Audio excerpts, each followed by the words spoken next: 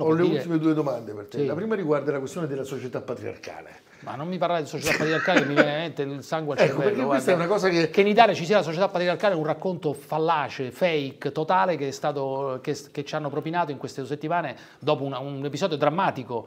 Eh, drammatico quello dell'uccisione, dell di una ragazza, cioè è una cosa ridicola, patetica, vera, la vera società patriarcale è dove lapidano le persone, è dove una ragazza che si mette il velo viene condannata alla, a 70 e passa frustate, questa è la società patriarcale, questa è la società dove la donna non può esprimersi come vuole.